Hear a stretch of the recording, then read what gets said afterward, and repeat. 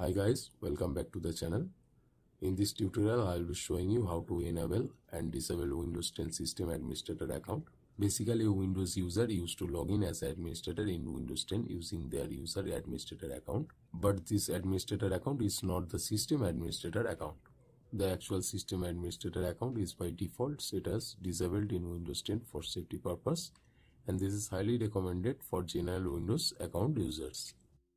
However, in some cases, if you will need the actual system administrator privileges to run a program or modify something in your system, then this video will help to solve your problem. So let's take a closer look at the procedure. At first run Windows PowerShell as administrator.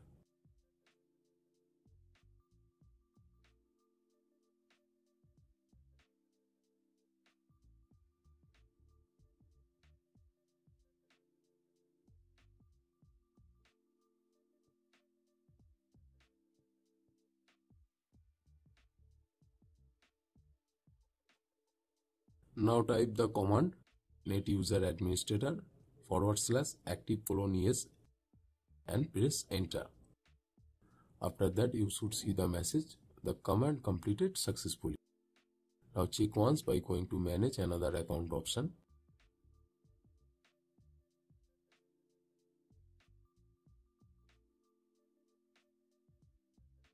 Okay, as you can see our system administrator account is successfully enabled. Now set a strong password for this account because this is highly recommended to secure the system administrator account.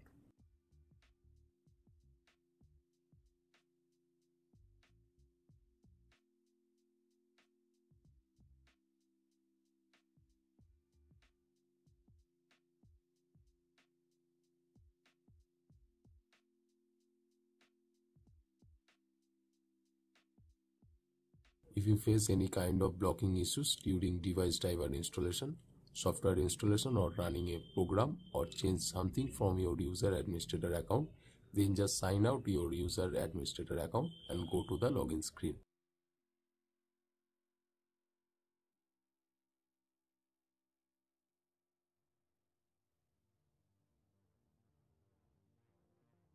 Then you will see the system administrator account on the login screen after that, just select the system administrator account and enter the password to log in as administrator.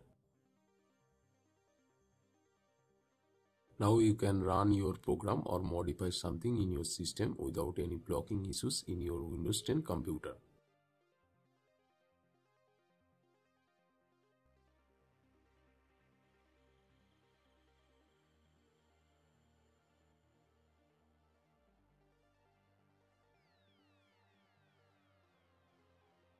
And before changing any settings in this administrator account make sure to turning on the system protection by going to the advanced system settings.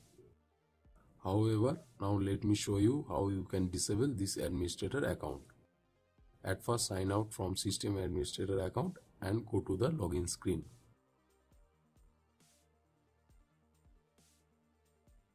After that select your user administrator account and enter the password to login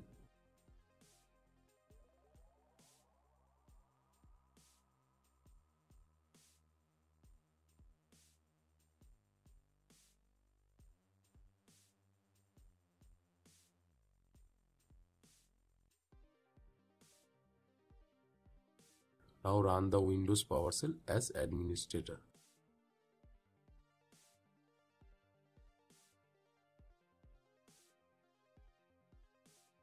Type the command net user administrator forward slash active colon no and press enter. Now you can check once by going to manage another account option or you can sign out your user administrator account and go to the login screen to see the system administrator account successfully disabled or not.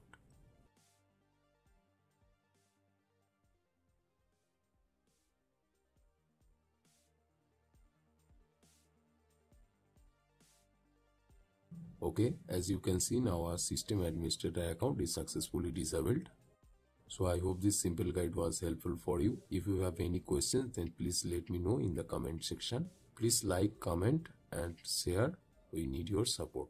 And guys please don't forget to subscribe the channel. Thank you. Thanks for watching. Have a nice day